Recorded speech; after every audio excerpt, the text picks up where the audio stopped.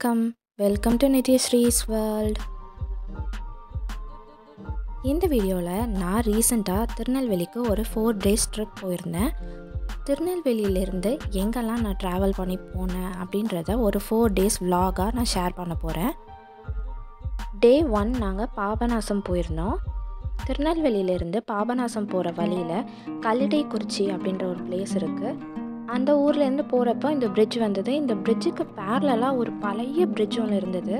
அப்போ எனக்கு அது தெரியாது. அந்த பிரிட்ஜில் தான் வந்து அன்னியன் படத்தில் அண்டங்காக்கா கொண்டக்காரின்ற சாங்கில் ஒரு பிரிட்ஜ் சீக்வன்ஸ் ஒன்று எடுத்திருப்பாங்க. அது இங்கே தான் ஷூட் பண்ணியிருக்காங்க போகிற வழியில் ஒரு ஹண்ட்ரட் இயர்ஸ் ஓல்டான எங்கள் அத்தையோட வீட்டுக்கு போனோம். அந்த வீட்டில் இருந்த சில இன்ட்ரெஸ்டிங்கான விஷயத்த அவங்க கூட ஷேர் பண்ணுறேன் எந்த பக்கம் பார்த்தாலும் ஒரே பச்சை பசேல்னு மரம் வயல் செடி கொடி அந்த மாதிரி தான் நிறையவே இருந்துச்சு. அந்த ஏரியாவில் வெயில் வந்து ஜாஸ்தியாக இருந்தால் கூட அந்த குளம் அந்த பச்சை பசேல்னு இருக்கிற வயல் இதெல்லாம் க்ராஸ் பண்ணி போகிறப்போ அப்படி ஒரு ரெஃப்ரெஷிங்கான ஒரு ஃபீல் கிடச்சிது எங்களுக்கு. எல்லாத்தையும் க்ராஸ் பண்ணி இப்போ வீட்டுக்கு வந்தாச்சு. வீட்டோட என்ட்ரன்ஸ்லையே ரொம்பவே அழகாக ஹண்ட்ரட் இயர்ஸ் முன்னாடியே எவ்வளோ பிளான் பண்ணி பக்காவாக அந்த என்ட்ரன்ஸ் வந்து பில்ட் பண்ணியிருக்காங்க பாருங்கள் லக்ஷ்மி சிலை இருக்குது அது பக்கத்தில் ரெண்டு யானை இருக்குது அதுக்கு மேலே பார்த்தீங்கன்னா அந்த காலத்தில் இருக்கிற நான் அந்த பல்போட ஹோல்டர் அதில் ஒரு பல்ப் ஃபிட் பண்ணியிருக்காங்க. வில்லேஜில் இருக்கிற எல்லா வீட்லேயுமே இந்த மாதிரி ஃப்ரண்ட்டில் திண்ணை வச்சு கட்டியிருப்பாங்க. டிவிலாம் இல்லாதனால எல்லோரும் ஒன்றா உட்காந்து அந்த திண்ணையில் உட்காந்து பேசி கேம்ஸ்லாம் விளையாண்டு அந்த மாதிரி அவங்க டைமை வந்து ஸ்பெண்ட் பண்ணியிருக்காங்க. மேக்ஸிமம் அப்போ எல்லாருமே ஜாயிண்ட் ஃபேமிலியில் இருந்தனால இந்த மாதிரி ஒன்றா ஒரே காம்பவுண்ட்குள்ளே நல்லா ஹாப்பியாக இருந்திருக்காங்க. வாசலில் ரெண்டு பக்கமும் விளக்கெல்லாம் ஏற்றி வைப்பாங்கல்ல அதுக்காக தான் இந்த ரெண்டு ஸ்பேஸும் கொடுத்துருக்காங்க.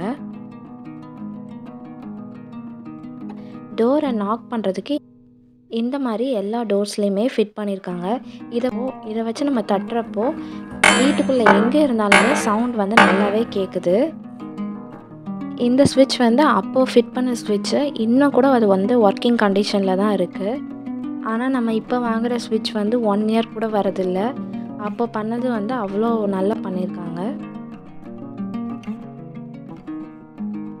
டோருக்கு மேலே இருக்கிற ஸ்பேஸை கூட இந்த மாதிரி நல்லா ஆர்கனைஸ் பண்ணியிருக்காங்க இந்த மாதிரி வுடன் ஸ்டார் கேஸ் வீட்டுக்குள்ளேயே இருக்குது வீட்டுக்குள்ளே உள்ள சீலிங் ஃபுல்லாமே இந்த மாதிரி வுட் வச்சு டெக்கரேட் பண்ணியிருக்காங்க. இப்போ நான் உங்களுக்கு காமிக்கிறது அந்த காலத்தில் யூஸ் பண்ண ஒரு டைப் ஆஃப் லாக் சிஸ்டம் இது. டோரை லாக் பண்ணுறதுக்கு இந்த மாதிரி ஒரு லாக் வச்சுருக்காங்க. இதை லாக் பண்ணிவிட்டு அதை வந்து அதுக்கப்புறம் அதில் வந்து பூட்டு போட்டு பூட்டிடுவாங்க இது அங்கே இருந்த ஒரு சில ரவி வர்மாவோட ஓல்டன் பெயிண்டிங்ஸ் இது.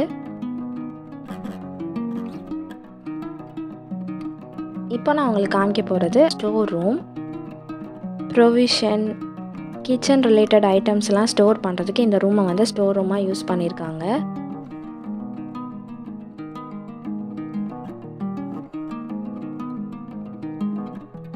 இது அப்போ யூஸ் பண்ண ஒரு பெரிய உப்பு ஜாடி.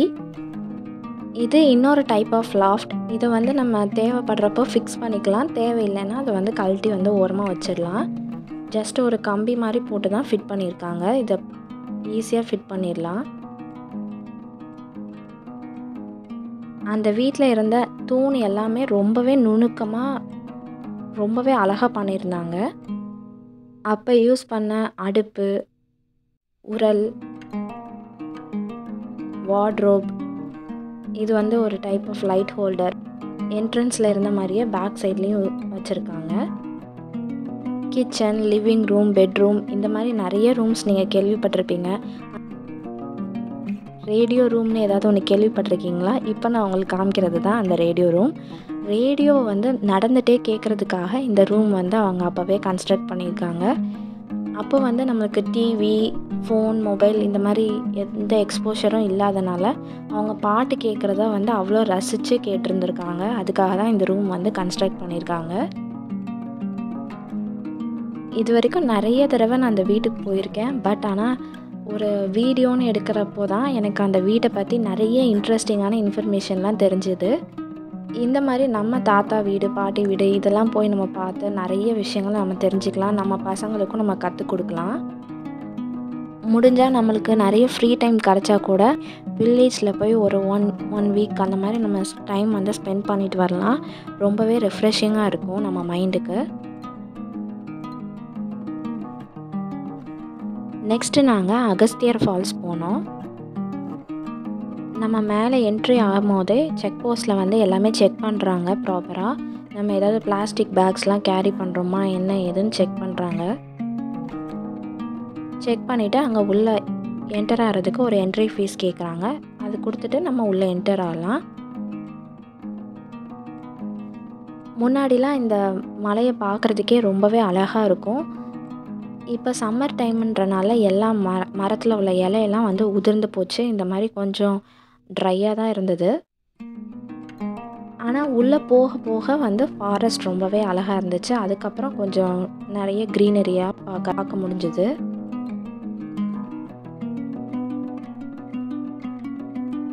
வெளியே பார்க்குறதுக்கு கொஞ்சம் ட்ரையாக இருந்தால் கூட ஃபால்ஸ் கிட்டே போக போக நல்ல ஒரு கூலிங்காக இருந்துச்சு. நிறையா செடியெலாம் நல்லாவே பச்சை பசேல்னு பார்க்க முடிஞ்சுது.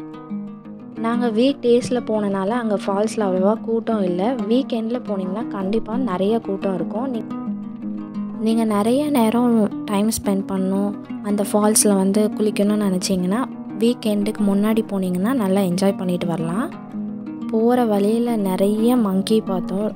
நீங்கள் காரை வந்து பார்க் பண்ணிவிட்டு இறங்கி நடந்து போகிறப்போ கார் வந்து நல்ல டோர்லாம் க்ளோஸ்டாக இருக்கான்னு பார்த்துட்டு போங்க. கையில் இருக்கிற திங்ஸை வந்து சேஃபாக எடுத்துகிட்டு போங்க.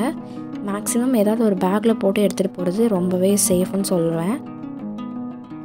நீங்கள் கையில் எடுத்துகிட்டு போனீங்கன்னா மங்கி வந்து உங்ககிட்டேருந்து பிடிங்கிட்டு போகிறதுக்கு சான்ஸ் நிறையவே இருக்குது வீக்கெண்டில் போனீங்கன்னா பார்க்கிங் கூட கொஞ்சம் கஷ்டம்தான். வீக் டேஸில் போனீங்கன்னா கொஞ்சம் பார்க்கிங்கும் நீங்கள் வந்து ஈஸியாக பார்க் பண்ணிவிட்டு உள்ளே போய் என்ஜாய் பண்ணிட்டு வரலாம். அகஸ்தியர் ஃபால்ஸில் வந்து ஒரு ஃபோர் ஓ கிளாக் மேலே குளிக்க விட மாட்டேங்கிறாங்க. தையனார் கோவில் இருக்குது அங்கே வந்து த்ரீ ஓ கிளாக் மேலே உள்ளே வந்து யாருமே அலோவ் பண்ண மாட்டேங்கிறாங்க. ஃபால்ஸ்லேருந்து விழுற தண்ணி வந்து அங்கங்கே சில இடத்துல வந்து டெபாசிட் ஆகி நிற்குது அதில் நிறைய குட்டி குட்டி ஃபிஷ்ஷஸ் நிறைய இருந்தது. நாங்கள் பார்த்தோம். ரொம்பவே அழகாக இருந்துச்சு. அங்கே வந்து டைகர் ரிசர்வ்லாம் இருக்கிறனால ஒரு க்யூட்டாக ஒரு போர்டு வச்சுருந்தாங்க. டைகர் வந்து அதை பிடிச்சிருக்கிற மாதிரி ஒரு போர்டு வச்சுருந்தாங்க. ரொம்பவே நல்லா இருந்துச்சு.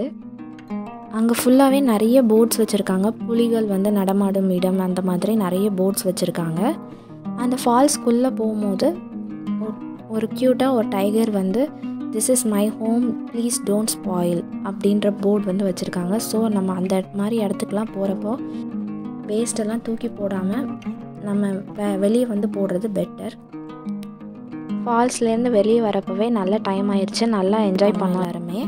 டே ஒன் பாபநாசம் பிளாக் இதோட முடியுது. நெக்ஸ்ட் வீடியோவில் நான் எங்கெல்லாம் போனேன் அப்படின்றத டே டூ விலாகில் பார்க்கலாம். தேங்க்ஸ் ஃபார் வாட்சிங்